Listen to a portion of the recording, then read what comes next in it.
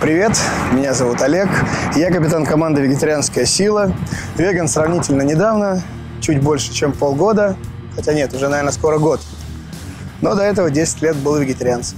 Все-таки я был вегетарианцем, потому что еще по этическим причинам я не мог, э, так сказать, э, употреблять продукты именно убийства. Я считал, что главное это не употреблять продукты убийства. Ну вот э, какое-то время, через какое-то время все-таки люди убедили меня, что э, веганство с этической точки зрения это то же самое, что вегетарианство, то есть животные, которых используют для молочной промышленности, для производства яиц и прочее, они мучаются и умирают э, не меньше, чем именно мясные животные. Поэтому в итоге я решил стать веганом. Ну, на данный момент я являюсь мастером спорта международного класса по жиму лежа в софт-экипировке и мастером спорта международного класса по такой дисциплине, как э, армейское двоеборье. Это жим стоя. Вот. Это у нас Федерация жимового двоеборья. Если кто увлекается силовым спортом в нашей стране, наверное, знают. Ну, сейчас мне 32 года. Вот. Э, занимаюсь спортом я, в принципе, очень давно ну, наверное, с э, класса с первого я пошел в секцию карате и дальше занимался много чем. Но, в принципе, вот в тренажерный зал я пришел где-то, наверное, 10 лет назад, э, после того, как стал вегетарианцем. Э, с той целью именно, чтобы доказать, что вегетарианцы, люди, которые вообще, в принципе, не употребляют никаких мясных продуктов, могут тоже успешно заниматься спортом, быть сильными, большими и брутальными мужиками. Потому что, к сожалению, к сожалению, э, на данный момент э, это именно основная проблема, которая многих э, молодых мужчин, которые занимаются спортом, так сказать, не дает им принять выбор в пользу вегетарианства. Именно то, что они боятся, что они не смогут стать большими, сильными и брутальными. И вот поэтому я решил, так сказать, стать большим, сильным и брутальным, чтобы доказать им, что это не так. Ну вот большим и сильным получилось, брутальным пока нет.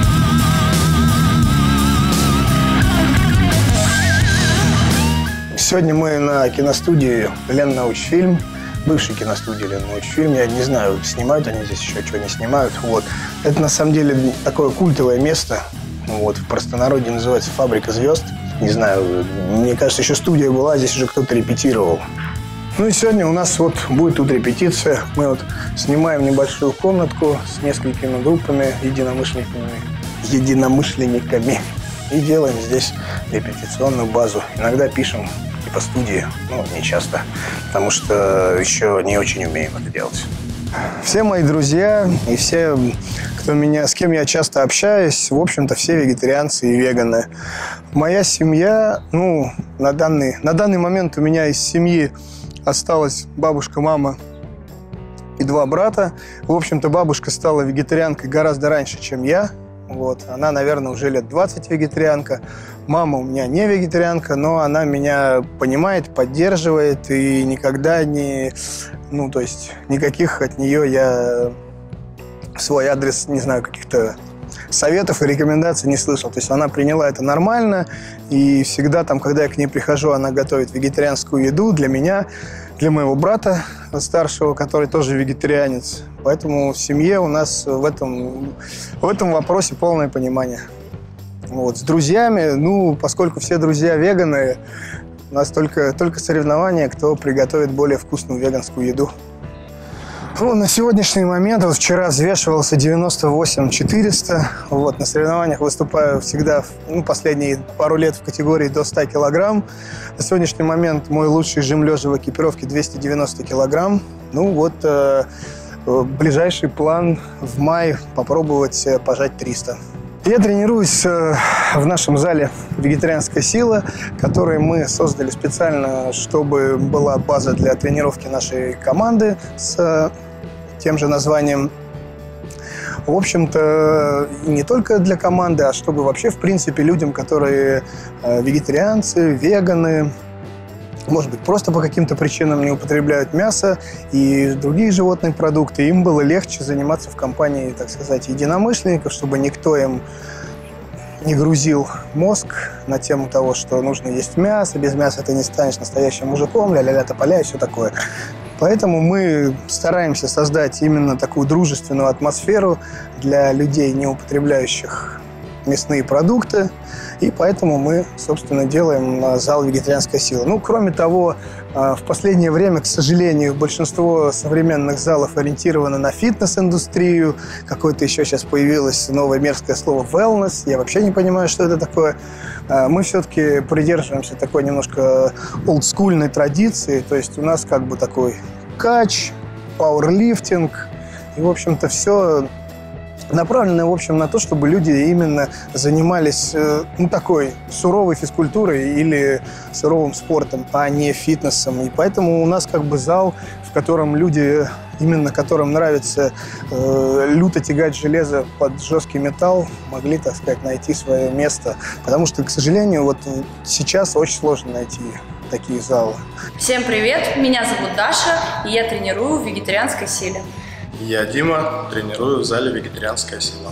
Ну, в нашей команде не только я имею звание мастер спорта международного класса, еще есть несколько человек с тем же званием, несколько человек со званием мастер спорта, очень много кандидатов, разрядников. Ну, опять же, не все люди из тех, кто имеет звание, постоянно выступают на соревнованиях. Кто-то там отвыступался уже, кто-то... Ну, в общем-то, за всю историю существования команды лично я подготовил э, 6 мастеров международного класса, 8 мастеров и, ну, свыше, наверное, 15 кандидатов. Так что, в принципе, можно сказать, что успехи у вегетарианской силы точно есть. Ну, музыкой я занимаюсь уже, наверное, лет 20. В этой группе мы пока состав не собрали, поэтому я иногда играю на басу, иногда я исполняю вокал. Ну, пою сказать нельзя, вы позже поймете почему. Ну, за, за свою, так сказать, музыкальную карьеру я играл во многих группах. Некоторые из них были там более какие-то известные, некоторые менее известные. Вот. С некоторыми группами ездили, выступали за границу. Вот. Ну, в основном по Европе.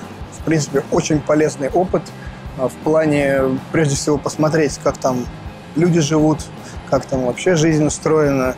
И очень на многое открывает глаза. Очень полезно. Ну, в принципе, в основном, в основном люди везде одинаковые.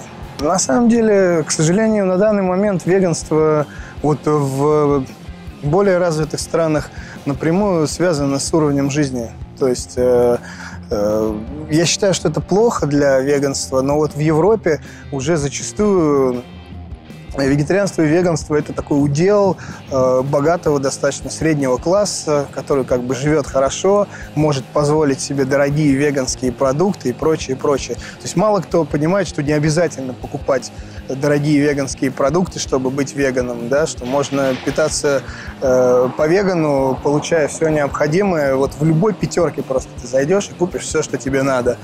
Но вот, к сожалению, такой имидж есть. И э, я думаю, что э, поскольку Россия сейчас идет как бы по такому неолиберальному капиталистическому пути развития, то, в принципе, все будет развиваться в этом же плане. То есть будут создаваться какие-то Э, какой-то мелкий бизнес, потом там какой-то более-менее крупный бизнес, который будет ориентирован на веганов и вегетарианцев. Но все это будет стоить дорого. В принципе, мы уже сейчас видим, что продукты, которые сейчас делают для веганов, они дороже, чем продукты для мясоедов. Да? Зайти, например, в тот же бункер и посмотреть, сколько стоит веганский торт или веганское пирожное, и сравнить его с обычным. Стоит оно обычно гораздо дороже. Да? И мне кажется, что будет все развиваться в том же русле, что развивается в Европе. Через там 10-15 лет веганов будет много, но это будет в основном э, богатые, обеспеченные люди из среднего и высшего класса, а, к сожалению, основная масса населения, которая выживает сейчас и, скорее всего, будет выживать и через 10 лет в России, потому что вряд ли здесь что изменится в ближайшее время, оно будет, мне кажется, далеко от идеи вегетарианства и веганства, именно потому, что, к сожалению, не будет а, достаточно, так сказать, обеспечены для того, чтобы позволить себе питаться по вегану. Я, поскольку мечтаю, так сказать, о светлом будущем для всего человечества. Считаю также, что светлое будущее без э, здоровой планеты невозможно. И поэтому, по моему личному убеждению, все люди, которым не безразлична судьба нашей планеты, должны стать как минимум вегетарианцами, а лучше веганами. Я думаю, что можно сказать, что существование команды «Вегетарианская сила» э, решила основную мою задачу, которую я ставил перед собой, начиная заниматься спортом, и доказала то, что веганы могут успешно заниматься спортом, побеждать на соревнованиях и быть реально сильными и большими.